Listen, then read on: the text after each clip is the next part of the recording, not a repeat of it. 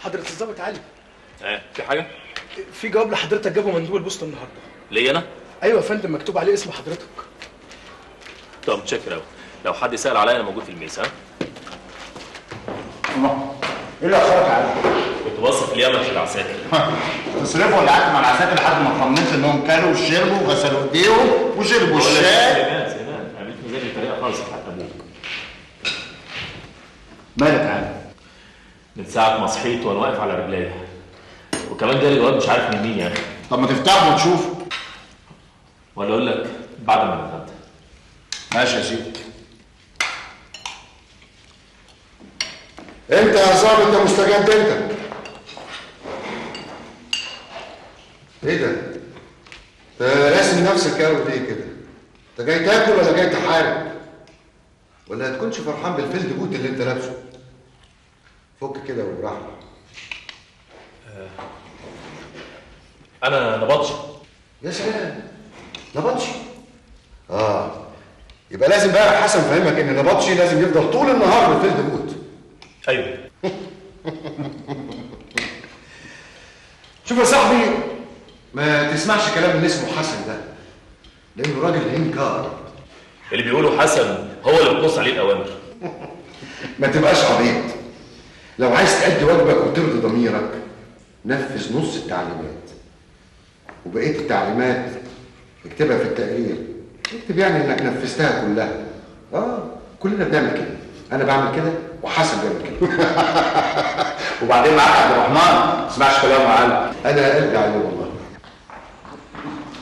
إيه ده يا عبد الرحمن؟ قاعد في الميز بالبيجامه؟ أنت مالك يا حسن؟ الله طب لو شافك دلوقتي حضرته مش باشا وهيشوفني فين إن شاء الله؟ ده زمانه في بيتنا طب إيه رأيك بقى اللي سايبه جاي ورايا؟ قديم العب هنا؟ يا جماعة بقول لكم جاي ورايا. اما أنتوا جوه بشكل. لا بتسمعوا كلامه وتصدقوه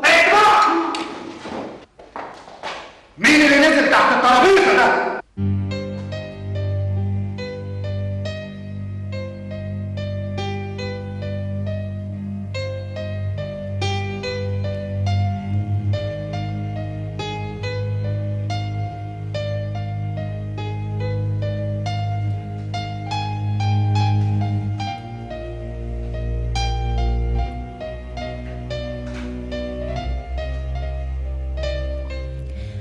ولست أدري إلى متى كنت أنوي الانتظار حتى يمن علي القدر بصدفة أخرى وأراك. ولكن الظروف كانت كريمة معي حين عرض علي أبي أن أذهب معه لمشاهدة الاستعراض العسكري احتفالا بتتويج الملك.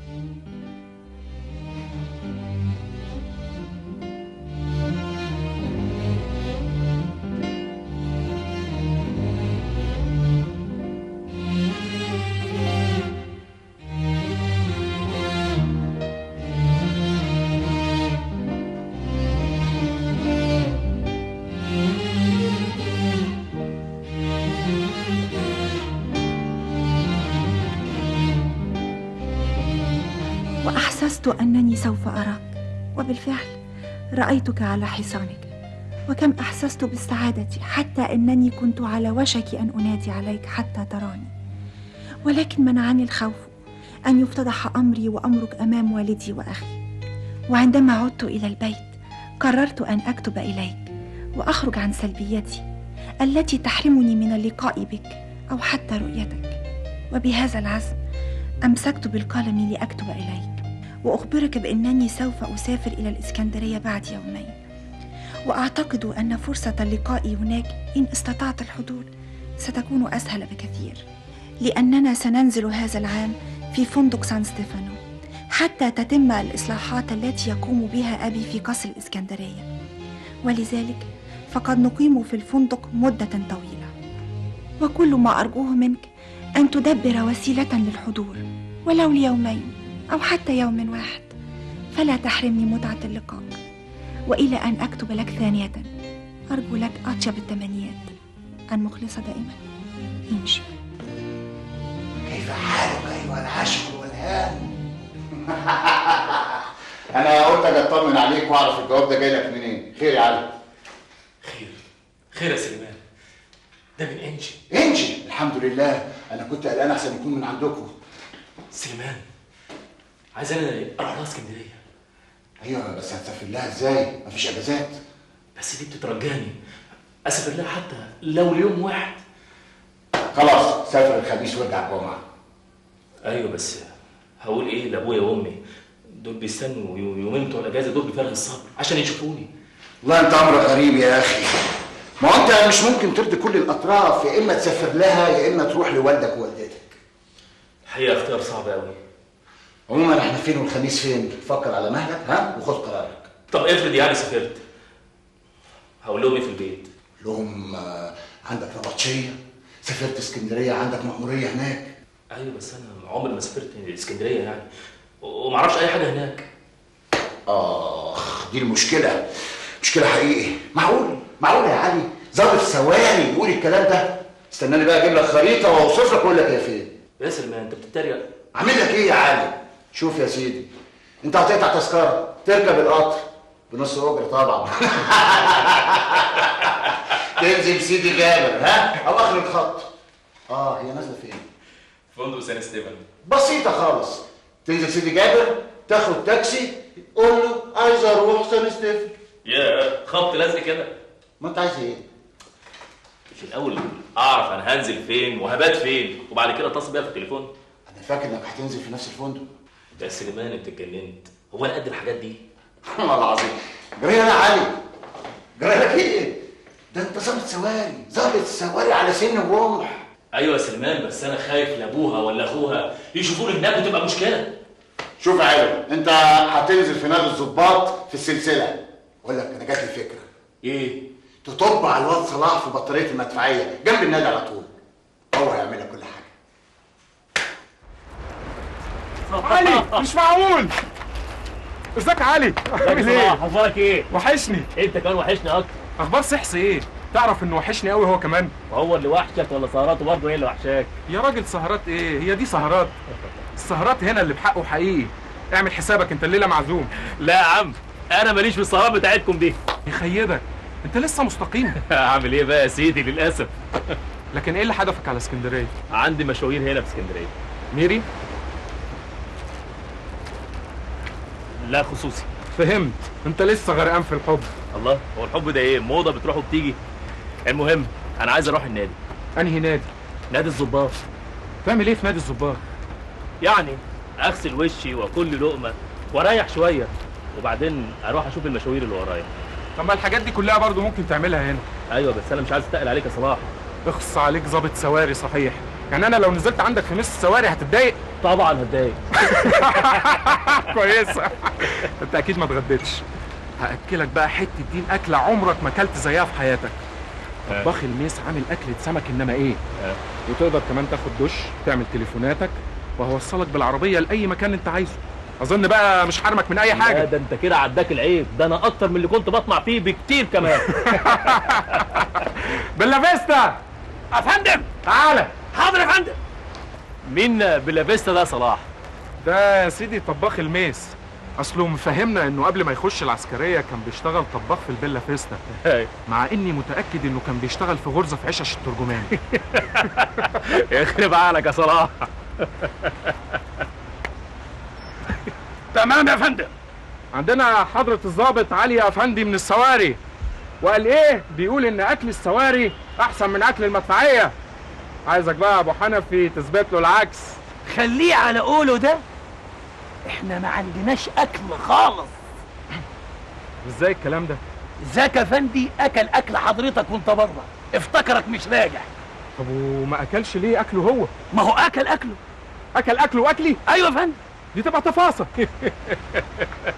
خلاص حضر لنا أكل حضرة اليوسباشي. أنا عارف إنه مش جاي. يا جماعة؟ ما تفهمونا إيه الحكاية؟ لا لا لا لا مفيش مشاكل مفيش مشاكل. آه لا لا لا مفيش مشاكل. بس زكا فندي أكل أكل حضرة اليوزباشي بصراحة شطب على الميز كله. شفت اللي بيحصل ده يا علي؟ ده مش ظابط ده كلب البحر. طب يلا بينا يا صلاح على النادي. عيب عيب الكلام ده. محمود ما تفضحنيش. بيض وشوية جبن وطماطم. تصرف ها؟ تصرف. أنا تحت أمرك يا فندم. بس زكا فندي كل البيض والطماطم والجبنة والسردين ده أنا شلت من قدام الأطباق لا ياكلها. امشي. ظباطنا فجيعه يا علي. أنا مش عارف الجيش الجيش لملم. معلش يا صلاح. ها أدي الأكل راح يا عم. هنتكلم في التليفونات ولا زكي افندي برضه كان التليفون؟ لا التليفون موجود. عايز نمرة كام؟ آه عايز أتكلم فندق تاني كده سان ستيفن مرة واحدة. هتكلم مين هناك؟ آه ده ده الناس كده هناك. ناس هناك. طب يا عم ربنا يسهل لك همر عليك بعد شوية. طب ماشي يا صلاح. ألو؟ آه لو سمحت اديني فندق سان ستيفن. الملازم علي عبد الواحد.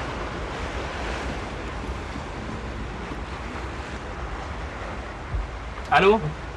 آه من فضلك ممكن أكلم الجناح أمير إسماعيل؟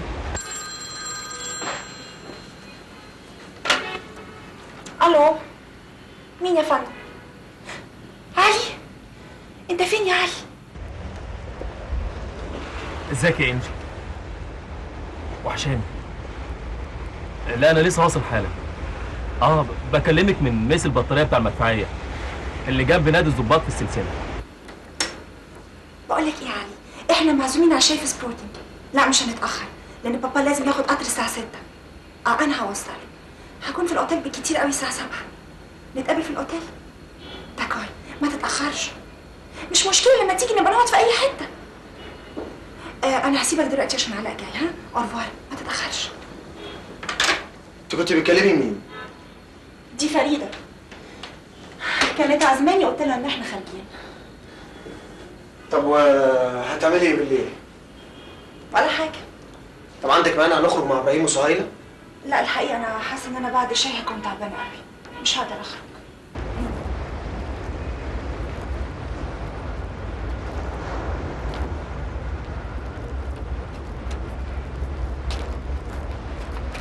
مالك يا علي؟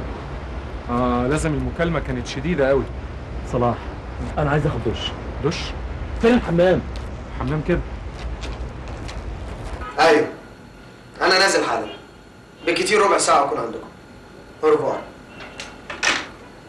مش هوصيك على أختك يا علاء هو حضرتك هتقعد في مصر كتير يا بابا؟ لا يومين أخلص فيهم شغلي وأرجع تاني انت نازل رايح على فين؟ أنا رايح لإبراهيم وسهيله مش كنت تستنى لما تاخد أختك معاك؟ ما هي مش راضية يا بابا بتقول إنها هترجع الاوتيل ترتاح بعد ما تاخد الشاي معاها حق إيه لازمته السهر كل يوم؟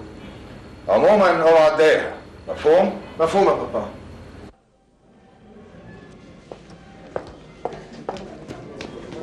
بتبص على إيه؟ إنجي. إزيك يا علي أنا مش قادر أصدق عينيا. بقالك هنا كتير؟ إيه، أكتر من ربع ساعة. لو كنت أعرف كنت جيت على طول.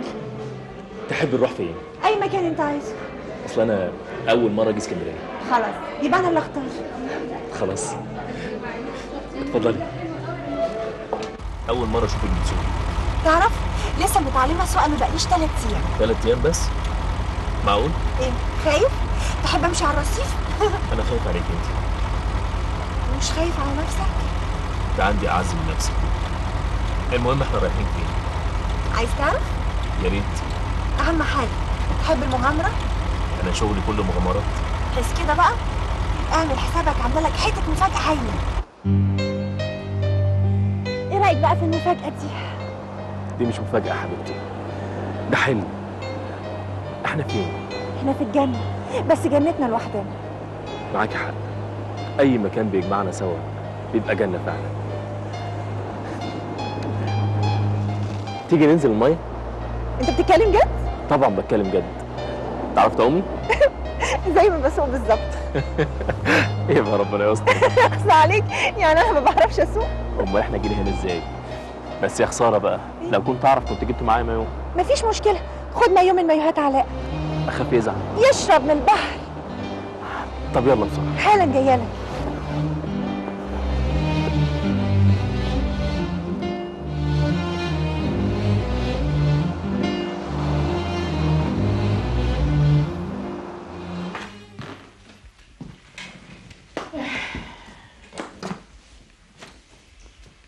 يا رب اليومين اللي كان الواد بيجي فيهم نشوفه ونطمن عليه. يقضيهم بعيد عننا. دي شغلانة إيه دي عارفة يا توحيدة على قد ما أنا متلهف ومتشحدف إن أشوف وأمل عينيا منه على قد ما بتمنى إنه يخليه بعيد عن هنا. إيه اللي بتقوله ده يا عبد الواحد؟ ما هو لما يبقى بعيد عن هنا يا توحيدة مش هيفكر في بنت الأمير وهيبقى مشغول عنها. الشهادة لله. بعد حكاية الحصان واللي حصل ما بقاش يجيب سيرتها خالص. وده يا حبة عيني مخليه كاتم في قلبه وبيتعذب. ما تعرفيش يا توحيدة ده حازز في نفسي قد إيه من جوه. ما هو زي ما أنت بتقول. ما دام بعيد عنها يبقى مش هيفكر فيها. والمثل بيقول اللي بعيد عن العين بعيد عن القلب. ربنا يوفقه في عمله ويهديه بنت الحلال اللي من توبه واللي تقدر تسعده. شوف بقى ما دام الكلام جاب بعضه أنا في بالي حاجة عايزه أقول لك عليها. خير يا توحيد. إيه رأيك نجوز بهية العلي إيه اللي بتقوليه ده يا توحيد؟ إيه اللي بتقوليه ده؟ نجوز بهية العلي وأنت قايلة لي بعضمة لسانك إنها ميالة لاخوه حسين. أيوه بس حسين بهية دي ولا على باله خالص. يعني بقى نسيب البنت تروح مننا ويجي واحد غريب يخطفها. لا لا طبعا. بس مش معقول يا توحيد. إيه هو اللي مش معقول؟ بقى يعني علي ابنك هيرضى يتجوز بهية وهو عارف إنها بتحب أخوه حسين؟ إن كان على علي سيبهولي أنا.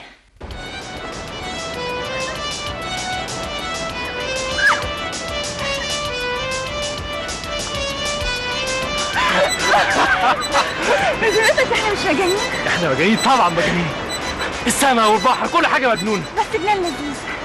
أقول لك على سر. هو في بينا ومن بعض اسماء وأنا معاك. بحس بجمال الدنيا.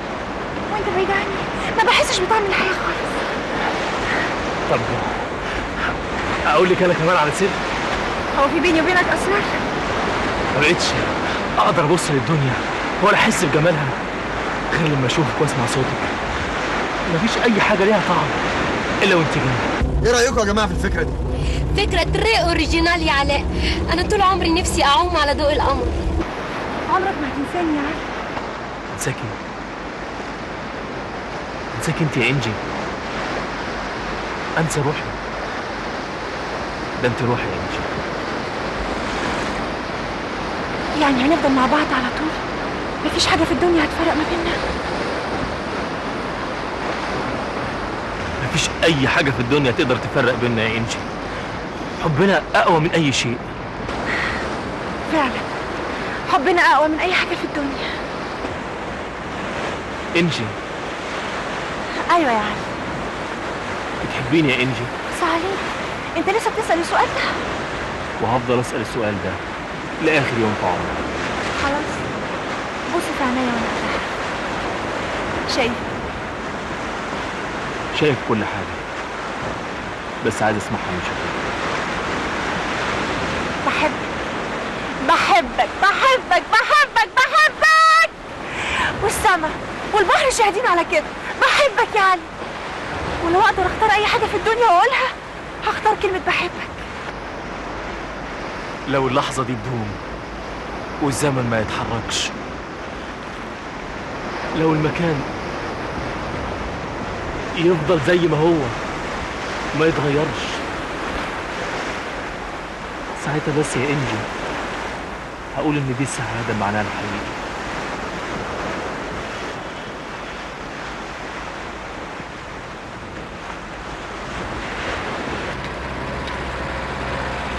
يا كان نفسي تكون إنجي معانا. أنت ليه ما قلتلهاش يا علاء تخيل يا إبراهيم الفكرة ما جاتش في دماغي. غير وإحنا في العربية. كل ما بتغيب عني لحظة يا حبيبتي بقلق عليكي. طب يلا بقى عشان الجو ابتدى يسقع غير هدومك. طب أنا عندي فكرة إيه رأيكم نروح نجيب إنجي ونيجي؟ انت اتجننت يا إبراهيم. عايزنا نرجع المشوار ده كله تاني. طب وفيها إيه يا أخي؟ إحنا ورانا إيه؟ أنا بصراحة بقى مش هين عليا أسيب إنجي لوحدها. على العموم إنجي زمان هنام دلوقتي؟ علي خلاص يا علي. ثانية واحدة يا إنجي. علي أنا خايفة نتاخر أنا خلاص أنا حبيبتي. أنت بتقول ان علاء سهران النهارده؟ ما إيه يعني؟ ما إحنا ممكن نيجي بكرة تاني ونجيب بتيجي معانا. يا سلام أنت ناسي إن إحنا بكرة معزومين عند مراد؟ النبي معقولة ما عزمناش؟ معلش يا علاء جايز ما يعرفش إن أنتوا هنا. خلاص يا سيدي أنا هكلمه بكرة وأخليه يعزمك. يا اما حتة مشوار. كنت عايز نرجع تاني يا إبراهيم. يلا يا علاء هات المايوهات بسرعة. طب صبرك عليا شوية. يا ربي. هو ده المنظر اللي كنت بحلم بيه من زمان. هسبح على ضوء القمر. الظاهر إن كان في حد هنا. كمان المايوهات مبلولة. تفتكر مين يعني؟ أنتوا جيتوا هنا بالنهار. إحنا ما سبناش الأوتيل من الصبح. لازم الولد الغفير. ما افتكرش. نو يا علاء لازم تفتكر. دول أوباش ممكن يعملوا أي حاجة. أمال هيكون مين؟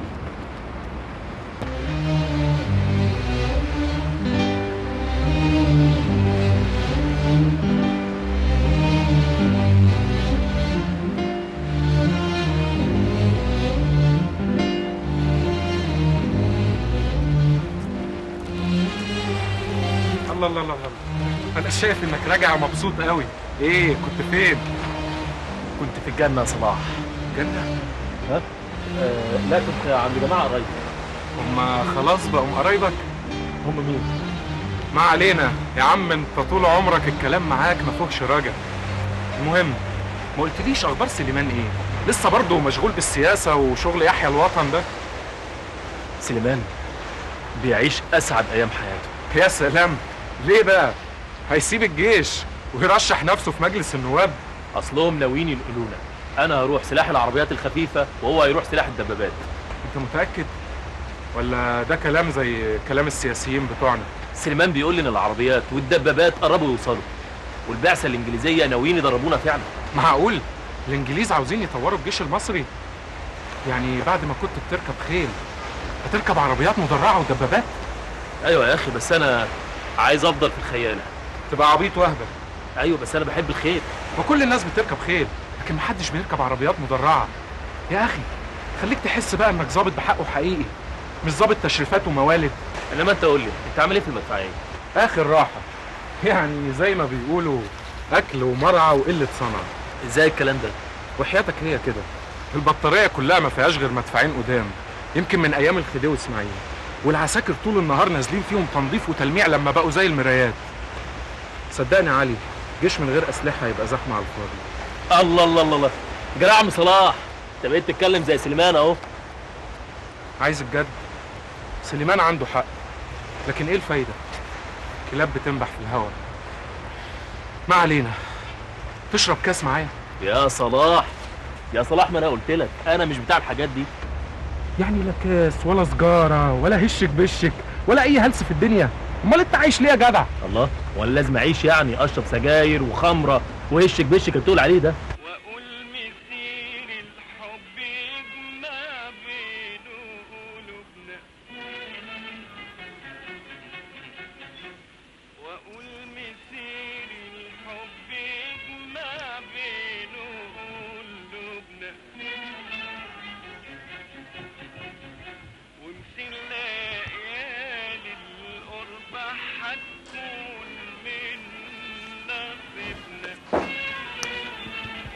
إيه ده؟ انت لسه صاحية؟ انت شايف إيه؟ كنا هنفوت ناخدك معانا.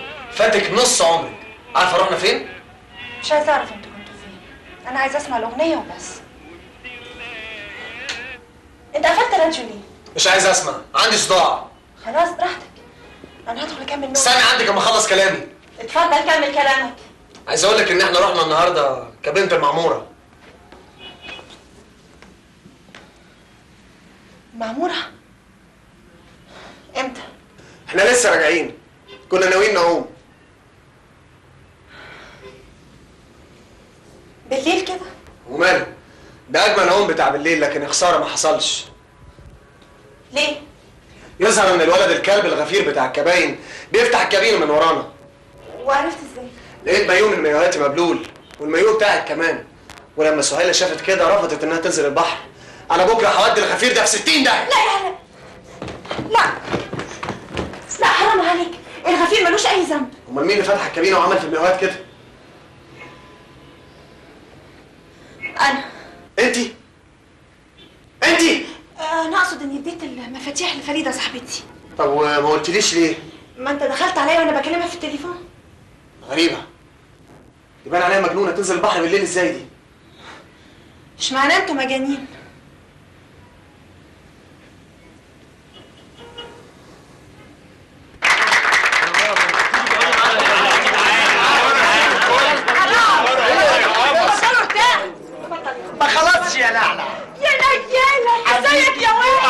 زي الفل كركر حسين أنا في حلم ولا علم يا واد علم اهو ازيك يا كريم مش مصدقه عينيا يا حسين صدقي صدقي الف مبروك الف مبروك هو بعد العيد يا اخويا بيتفتل الكحك ده أنا بقالي فاتحه يا راجل أكتر من شهر.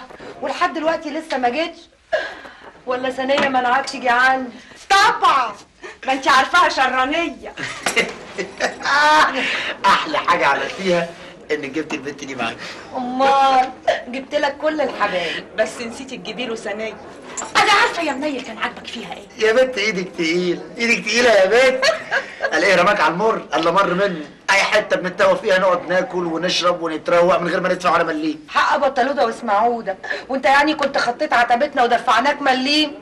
المحل كله تحت أمر وإحنا مش قلالات أصلا وجيب أصحابك كمان معاك. أجي أصحاب. أنت فاتحه كباريه ولا تكيه تكيه للجدعان اللي زيك. لكن عارف الملاطيش دول كلهم؟ بدفعهم دم قلبهم. هو إيه أصله ده؟ إحنا هنقعد نتكلم كده من غير ما نشرب حاجة. انجري شوفي حالك عقبال ما اتكلم مع حسين كلمتين. عارفاهم قبل ما تقوليهم. ما انت فالحة اهو. ما إحنا دافنينه سوا. طب يلا زقي عجلك وهاتلنا كاسين. كاسين بس. الله يمسيكي بالخير يا سونسون. وحياة الغالي. اللي أجيب لك ازازة ويسكي. بس قولي إيه الأخبار؟ أخبار؟ حددي. حددي. أخباري؟ ولا أخبار الجيش المصري. أموت في سلاح السواري. يا منيل أنا مش عارفة ليه ما اطلعش زيك.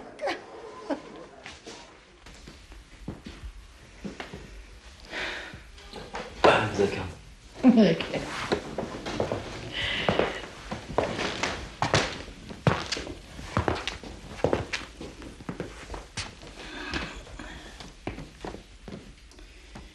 انت يا ابني مش خلصت علام لازمته إيه بقى؟ تمقق عينيك في الكتب من تاني.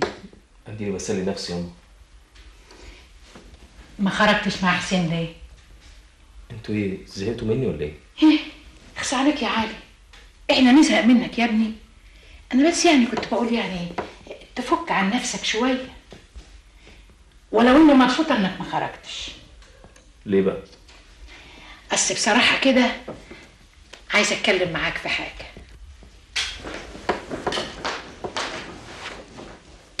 خير يا أم. طبعا خير يا ابني إن شاء الله خير. أنا بقول يعني مادام ربنا نجحك وعلى مراتبك ليه بقى ما تتممش فرحتنا وتتجوز؟ مش بقول لك ياما أنتم زهقتوا مني. اسمع يا علي أنا طول عمري بقول عليك دغري وما بتحبش اللوع اللي يسمعك كده ياما يقول العروسه خلاص جاهزة ومستنية على الباب. إلا جاهزة دي جاهزة وجاهزة. بس إحنا مستنيين تقول آه. ودي مين بس ياما ده هي بنت خالتك.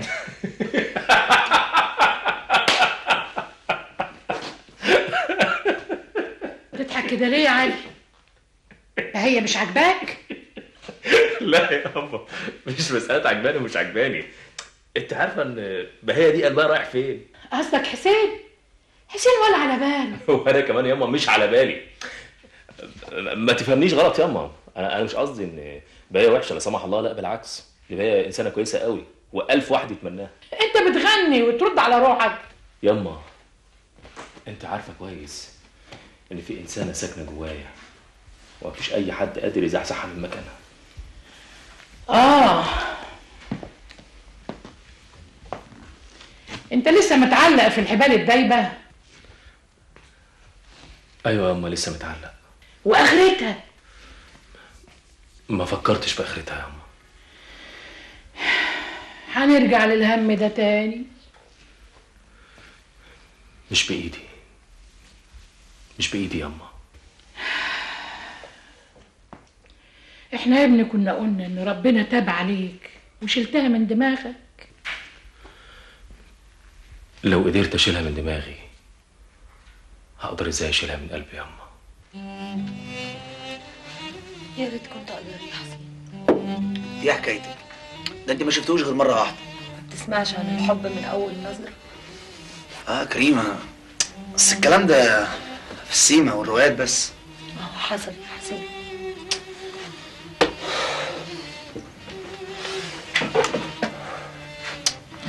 أنا خايف أقول لك الحقيقة تزعلي. الدواء مر لكن بيريح العيان. يبقى هتفضلي عيانه على طول يا كريم. ليه؟ هو هو علي مفيش منه رجا؟ على أخويا مش ليكي علي قلب مع واحدة تانية.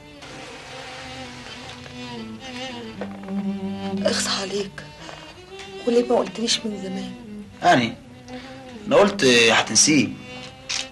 انت بتقابلي كل يوم كذا راجل وبتنسيهم. قلت واحد من ضمن الرجالة ويتنسي.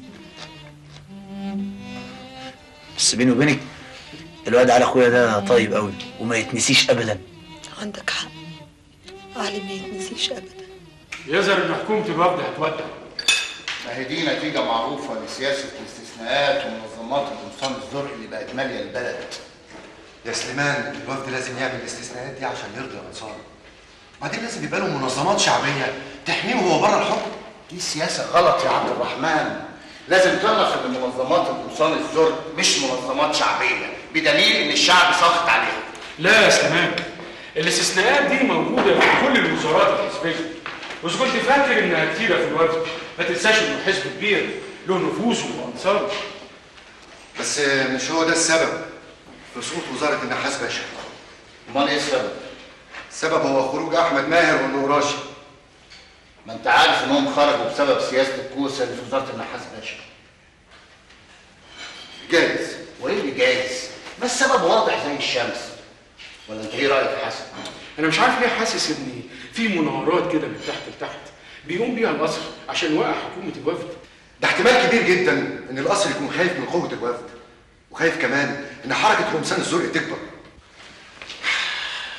القصر ملوش علاقة لا بالوفد ولا بغيره الملك فوق الجميع وباعد نفسه عن كل المناورات السياسية مش الملك بذاته يا سليمان أنا عارف طبعا إن أنت متحمس له لكن ما تنساش إن علي باشا ماهر رئيس الديوان يهمه إن حكومة الوفد تسقط لأن هو اللي هيمسك الوزارة الجاية أنت إيه رأيك في الكلام ده يا علي؟ طب افرضوا علي ماهر باشا هو اللي هيورث وزارة الوفد هيحكم إزاي؟ مين اللي هيسانده؟ كان سلمان بيقول يعني إن الملك باعد نفسه عن المناورات السياسية خالص. المعارضة هي اللي هتسنده وهيطعن حكومته بالفريق المنشق من الوفد فريق النقراش وأحمد ماهر. صدقوني يا جماعة دي مؤامرة عاملها علي ماهر. ده كلام فارغ. الوفد خلاص كبر وشاف وبدأت شعبيته تقل. أنتوا ما تسمعوش الهتافات في مظاهرات الجامعة بتقول إيه؟ كلها هتافات ضد الوفد. الوفد زمان كان حزب قوي لما كان بيكافح ويناضل ضد الاستعمار لكن دلوقتي تخلى عن الشارع المصري وقعد على الكراسي يدور على مصالحه. ولا إيه يا علي؟ والله أنا شايف إن الوفد زي أي حاجة بيفقد سلطته الشعبية أول ما يمسك الحكم ويبعد عن مشاكل الناس الحقيقية. الوفد لو كان عادل في حكمه كان الناس فضلت معاه. عشان كده لازم ينزل الشارع. لازم يجاهد ضد الفساد من تاني. ساعتها بس هيرجع له شباب وسيطرته. خش قدامي! خش قدامي! جراية سنايا بتزقيني كده ليه؟ أيوه يا أخويا استعبط لي أنا مش فاهم حاجة. إيه اللي خلاك تسيبي الصلاة بدري وتجيبيني على هنا؟ عشان مش عايز أعمل فضايح هناك. ده مهما كان محل اكل عيش. الصالة امم يبقى فيها فضايح. الصالة بقت محل عيش يا سنايا أيوه فضايح. فضايح مع قليل الأصل الدون اللي زيك اللي ما بيطمرش فيه. وفي الآخر عاوز يسيبني ويروح لمين؟ لعدوتي. عدوتك؟ مين دي عدوتك؟ إيه؟ ما تعرفش مين عدوتي؟ الست كريمة هز يا وز؟ مالها كريم؟ إيه؟ لا بقول لك إيه ما تستعبطليش تخش في عيبي. أنا الناس بتوعي اللي رشتهم هم اللي قالوا لي على كل حاجة.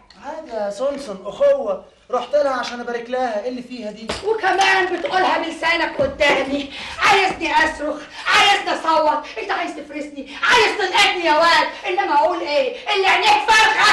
يعمل أكتر من كده. ما هو صحيح اللي ياكل بلاش يفضل طول عمره ما يشبعش. ملهاش لازمة المعايرة يا سنيه وزي ما عرفنا بعض بالمعروف نسيب بعض بالمعروف. عايز تسيبني؟ عايز تسيبني يا واد؟ عايز تسيبني بعد كل اللي عملته ده كله؟ علشان مين؟ عشان البنت المقشفه اللي اسمها نعيمة. ده أنا كنت اقتلك كنت اقتلك وأشرب من دمك لا بقى بلاش وجع دماغ. بذوقك يا